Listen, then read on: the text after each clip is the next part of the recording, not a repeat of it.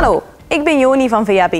Ik kreeg de vraag van een Volkswagen Golf-eigenaar of hij in 2016, als de lage emissiezone in Antwerpen wordt ingevoerd, de stad nog zal mogen binnenrijden. Daarom ben ik hier in de Dieter Gallery waar alle zeven golfmodellen bij elkaar staan. Bepalend of je de stad al dan niet mag binnenrijden is de euronorm van je wagen. Maar er wordt ook een onderscheid gemaakt tussen diesel- en benzinewagens. We zullen de oefening eens maken voor dieselwagens. Vanaf 2016 mogen dieselwagens met minstens Euronorm 4 of een roetfilter de binnenstad van Antwerpen binnenrijden. Dat is dus dit model, de Golf 5 en de meer recente modellen. Maar het is nog veel complexer dan dat.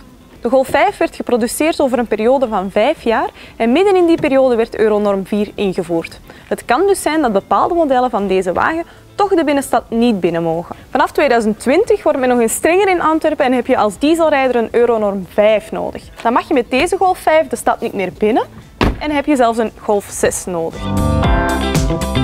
Voor benzinerijders is het verhaal dan weer helemaal anders.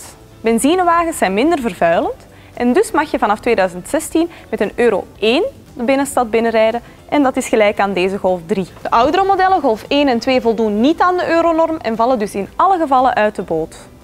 Je vraagt je nu vast wel af wat de euronorm van jouw wagen is. Wel, dat vind je terug op het kentekenbewijs, ook wel het inschrijvingsbewijs van je wagen. Let op, bij de oudere wagen staat dit soms niet op je kentekenbewijs vermeld. Dan vraag je bij straat bij je garagist. Waar moet je nu op letten als je een nieuwe of een tweedehandswagen koopt? Wel, zorg dat als je een dieselwagen wil kopen, dat je dan minstens euro 5 koopt. En als je een benzinewagen koopt, dat hij minstens euronorm 2 heeft. Nu, een dieselwagen is pas interessant als je voldoende kilometers rijdt.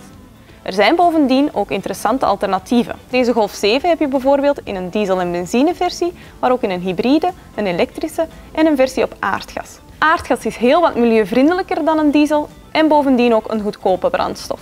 Ik vat het nog even samen. Golf 1 en 2 die mogen de stad helemaal niet meer binnen. Van Golf 3 en 4 daarvan mag de benzinevariant de binnenstad binnenrijden. Heb je een dieselwagen, dan heb je model 5, 6 of 7 nodig.